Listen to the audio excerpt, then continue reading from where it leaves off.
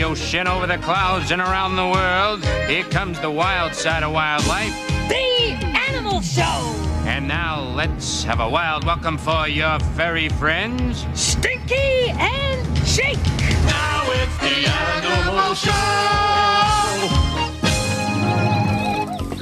Hello, all you little animals out there. I'm Stinky. And I'm Jake, and our guests today are a jaguar and a tortoise. A jaguar and a tor- Jake, uh, would you excuse us for a second? Oh. Jake, a jaguar and a tortoise have nothing in common. Oh, yes, they do. Yes, they do. Yes, they do. They're both part of the same food chain. Uh, that means one animal depends on another animal for food. Oh, I get it. The jaguar goes grocery shopping for the tortoise. That's Uh, nice. No, no, not exactly, Stinky. See, what happens is that the jaguar eats the tortoises and the terrapins.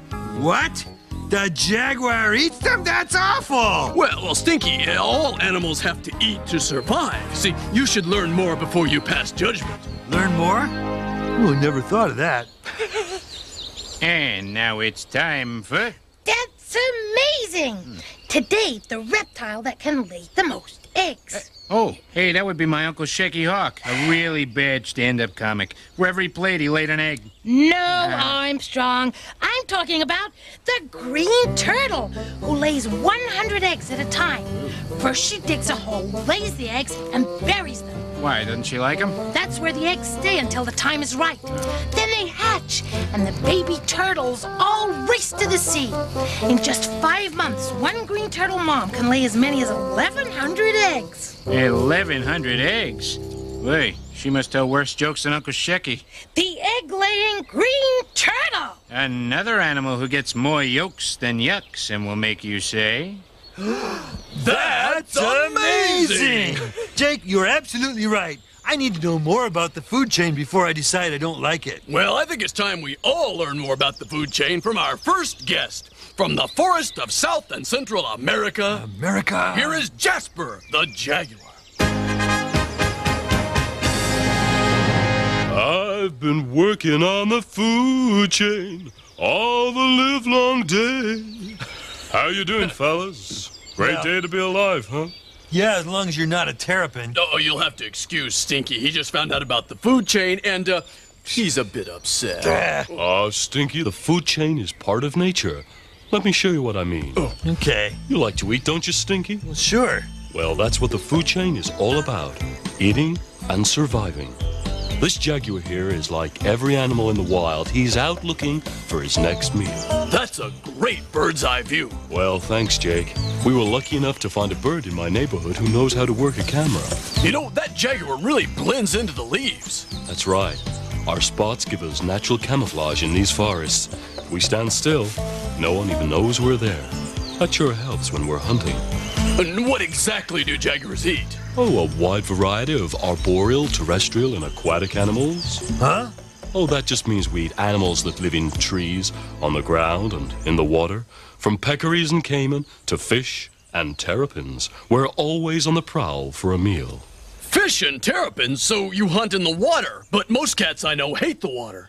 Jaguars are one of the few cats that like to be near water. In fact, we're very good swimmers. I bet you can't swim better than terrapins. Maybe not stinky, but we can sure sneak up on them. Just watch. There's a terrapin just resting on a log, catching some sun. Ooh, and here comes the jaguar trying to figure out how to get across the river. Run, terrapin, run! There's a jaguar coming. Oh, I'm sure some of these terrapins will see the jaguar. They'll jump in the water and swim away as fast as their little legs will carry them.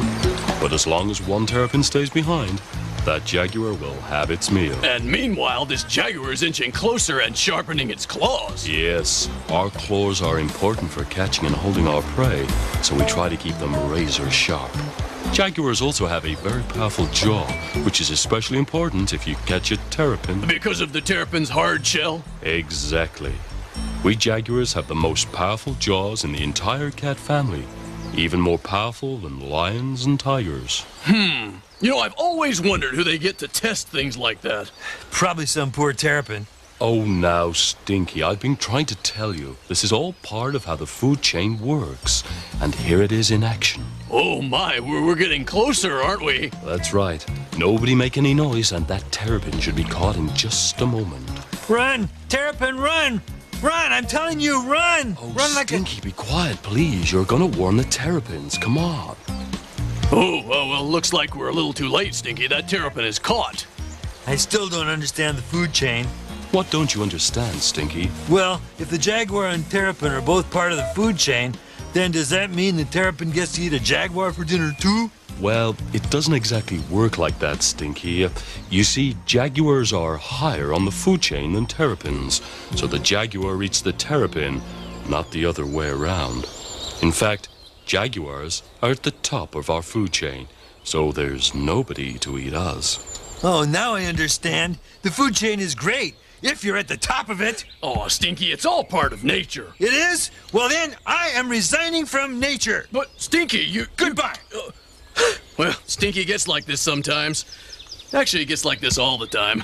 Well, I'd better go then so he doesn't get even madder. Thanks for having me on the show. Thank you, Jasper. And now it's time for Baby Talk.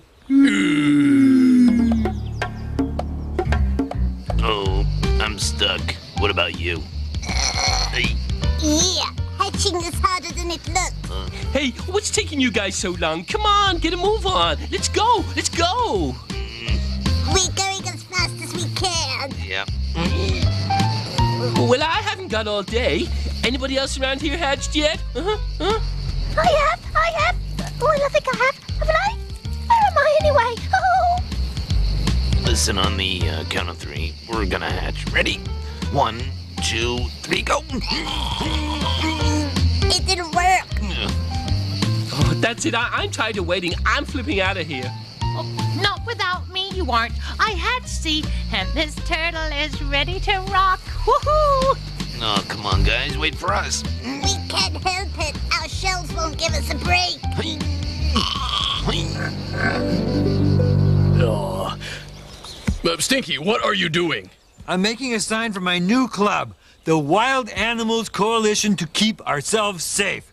Wackos. I made up the name myself. Stinky, you are an animal. You cannot resign from nature. Oh, we'll see about that. Right after we see about this.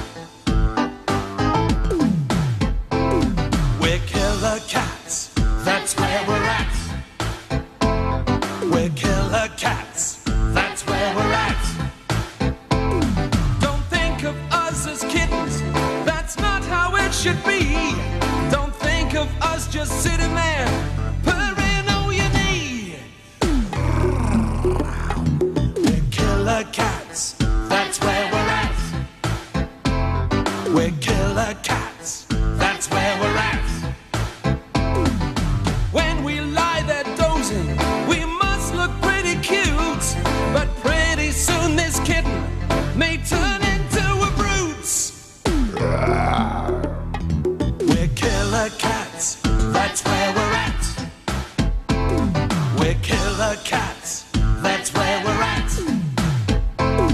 We're killer cats, that's where we're at. We're killer cats, that's where we're at. I'm Wanda Rat, rodent reporter, getting you answers to today's tough questions. Let's see if this animal knows the answer. Ma'am, Yes. can you answer a question? Well, I'm in a bit of a hurry. I'm the next guest on the animal show. Oh, I'm very happy for you. Hmm. But here's the question Which of these animals is a jaguar? The leopard, the lion, the tiger, or the black panther? Hmm. Being a tortoise and lower on the food chain than all of those animals, my only answer is run. Well, if that's a good answer for a tortoise, but not the right answer for us because the jaguar here is the black panther. A black panther is, in fact, a jaguar that is black.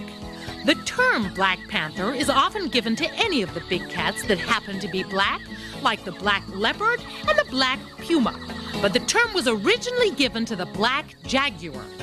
You can see that, like his spotted cousin, the black panther has a very large head and body with legs that are relatively short and thick. It has a keen sense of smell and does most of its hunting at night. This is Rhonda Rat reporting on the Black Panther. Back to you, Stinky and Jake.